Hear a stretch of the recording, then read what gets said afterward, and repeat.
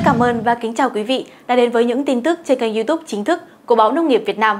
Chúng tôi luôn cập nhật những thông tin mới nhất, nóng nhất để gửi đến quý vị.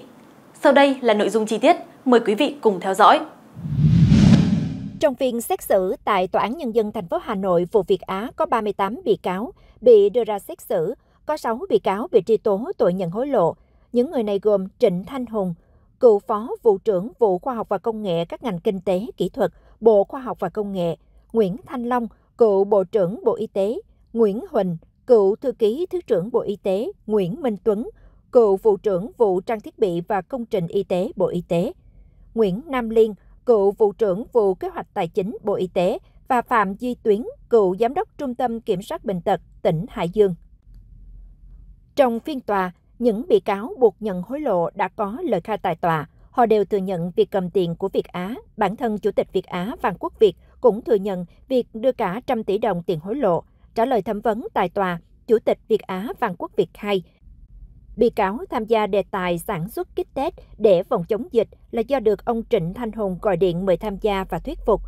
Theo lời khai của bị cáo Việt, ông Hùng mời gọi cùng tham gia với Học viện Quân y thực hiện đề tài vì lúc đó tình hình cấp bách. Bộ Khoa học và Công nghệ giao trong một tháng phải nghiên cứu và sản xuất được kit test chống dịch và chỉ Việt Á mới đủ điều kiện tham gia.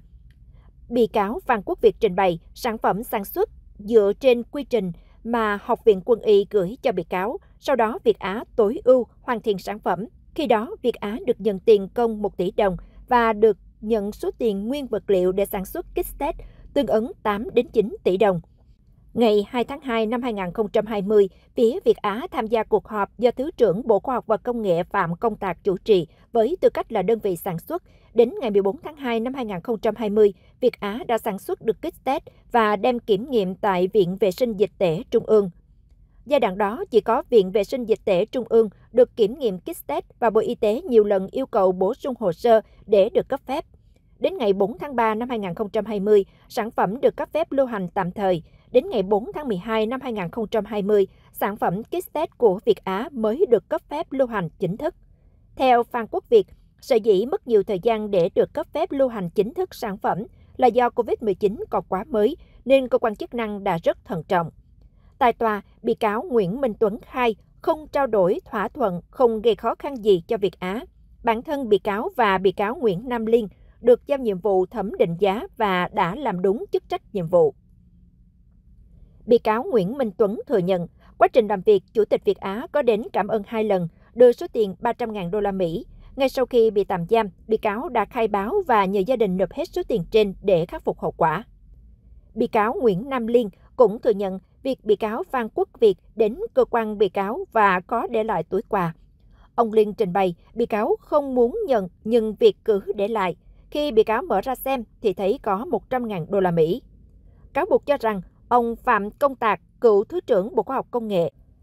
được Phan Quốc Việt đưa cảm ơn 50.000 đô la Mỹ. Trình bày tại tòa, bị cáo Phạm Công Tạc chỉ thừa nhận đã cầm của Chủ tịch Việt Á 100 triệu đồng.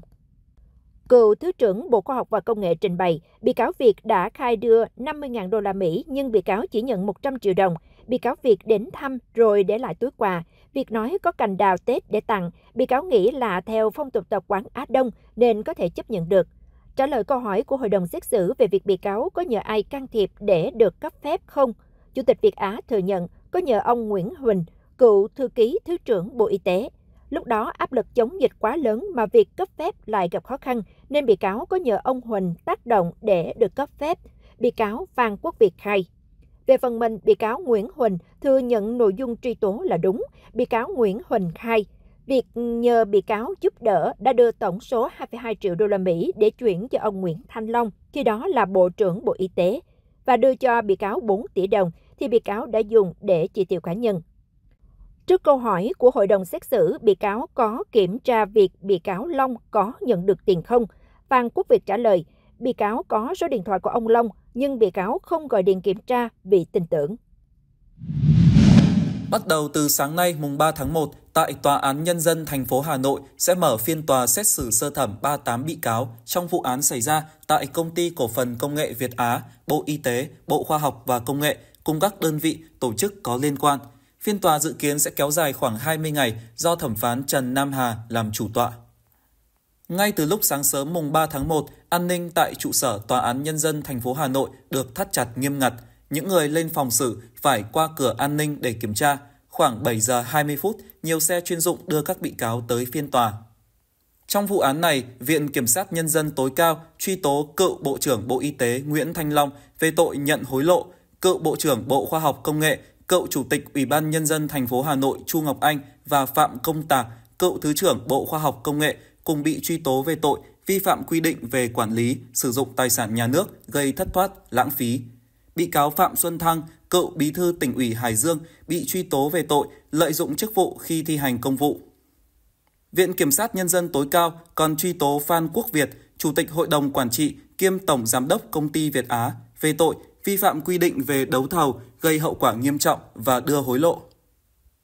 So với khi bị bắt, ông Chu Ngọc Anh gầy hơn, nhiều tóc bạc. Ông Nguyễn Thanh Long tới tòa đeo khẩu trang, mặc áo khoác đen, còng tay được che bằng vải tối màu. Trong đại án Việt Á có hai bị cáo bị truy tố về tội lợi dụng ảnh hưởng đối với người có chức vụ quyền hạn để trục lợi theo khoản 3, điều 336 Bộ luật hình sự. Hai người này là Nguyễn Thị Thanh Thủy, cựu chuyên viên nhà xuất bản giáo dục Việt Nam và Nguyễn Bạch Thùy Linh, giám đốc công ty SMB Holding.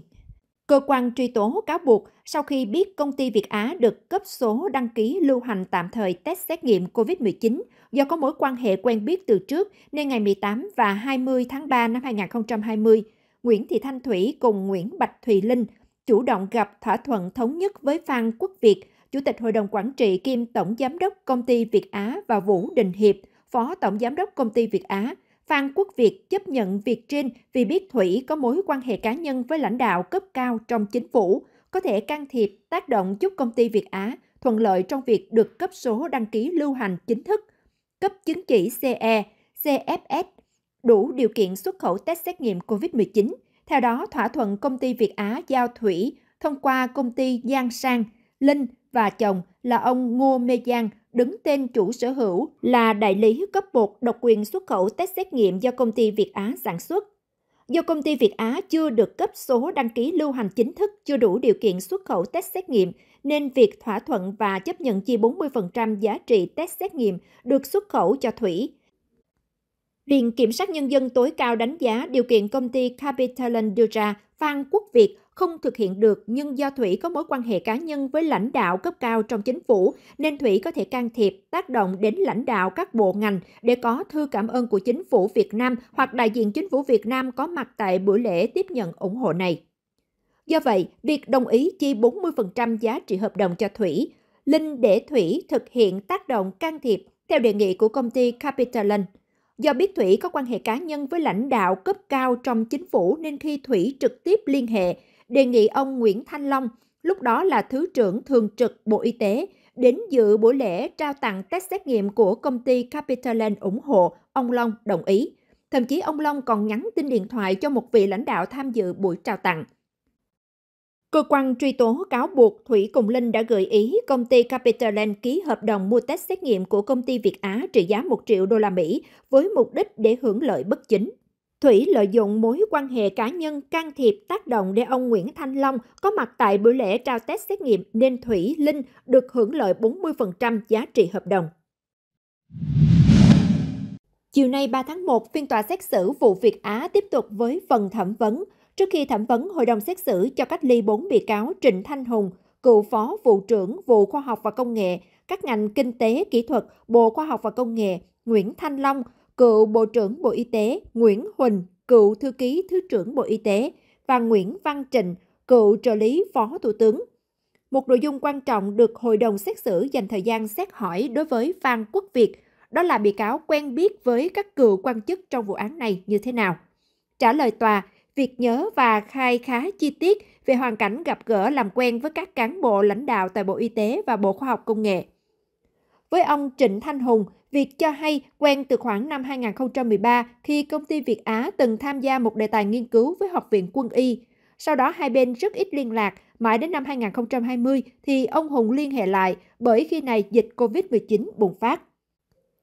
Theo lời việc, ông Hùng rất trách nhiệm có tác động đến Viện Vệ sinh Dịch tễ Trung ương và một số cơ quan thuộc Bộ Y tế để giúp đỡ công ty Việt Á trong quá trình thực hiện đề tài nghiên cứu. Tuy nhiên, tác động cụ thể ra sao thì bị cáo không rõ. Hai trường hợp khác là ông Chu Ngọc Anh, cựu Bộ trưởng Bộ Khoa học Công nghệ và Phạm Công Tạc, cựu Thứ trưởng Bộ Khoa học Công nghệ.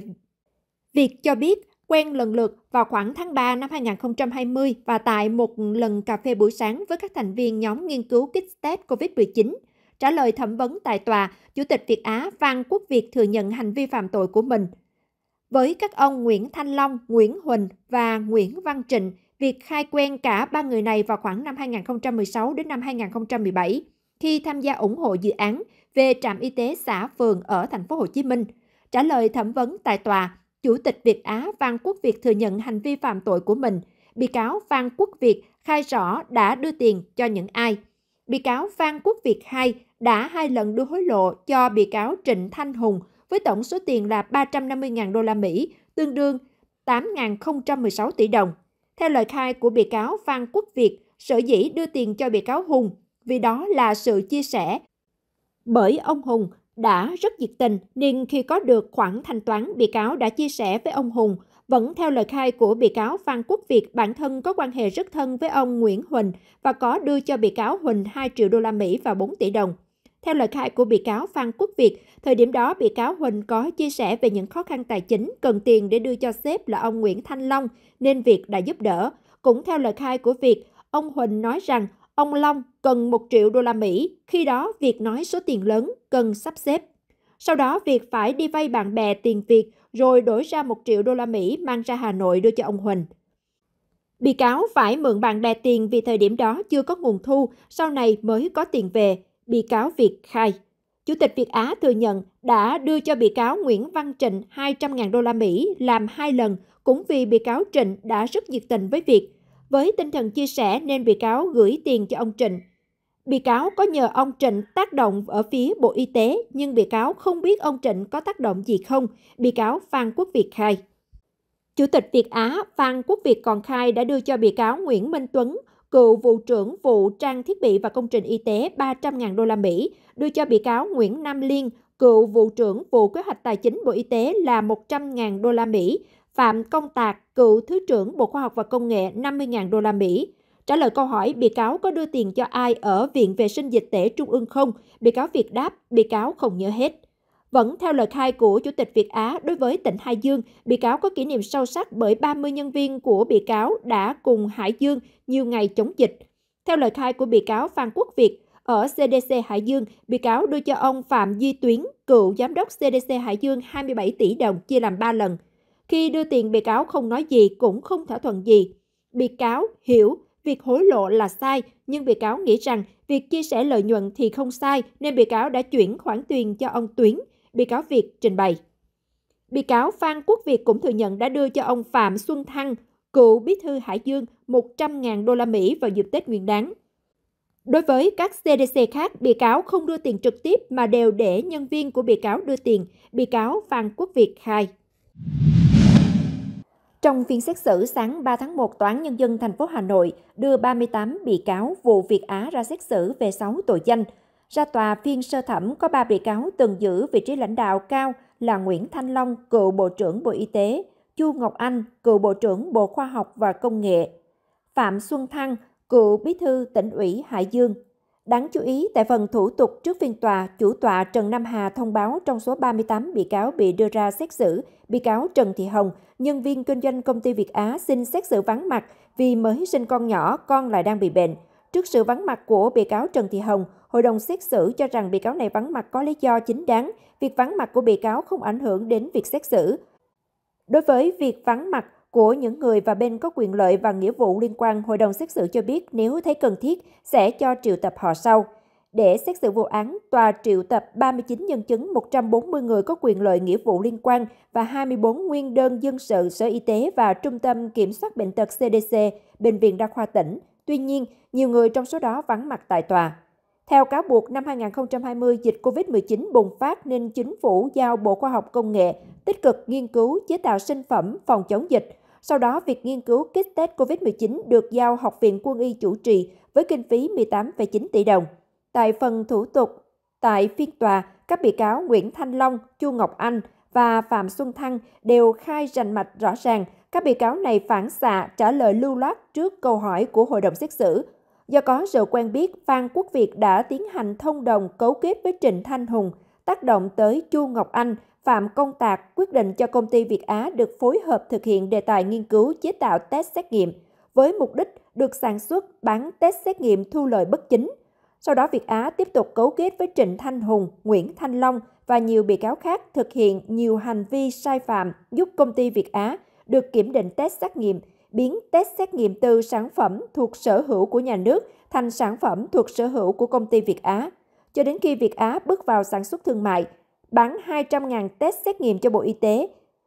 Việt Á đã nâng khống cơ cấu đơn giá nhưng vẫn được Bộ Y tế hiệp thương xác định giá 470.000 đồng một kit test không có căn cứ. Sau đó, Bộ Y tế kiểm tra giá hiệp thương xác định Việt Á thay đổi nguyên vật liệu sản xuất nhưng không ra kết luận kiểm tra, không kiến nghị xử lý dẫn đến doanh nghiệp này tiếp tục sử dụng mức giá trên tạo mặt bằng giá để bán cho các đơn vị địa phương. Theo cáo buộc của Viện Kiểm sát Nhân dân tối cao, sau khi được cấp phép lưu hành, công ty Việt Á sản xuất hơn 8,7 triệu kit test, nâng khống giá rồi bán cho các cơ sở y tế trên khắp cả nước, từ đó thu lợi bất chính hơn 1.235 tỷ đồng. Tính riêng phần tài sản nhà nước, số tiền thiệt hại là hơn 402 tỷ đồng.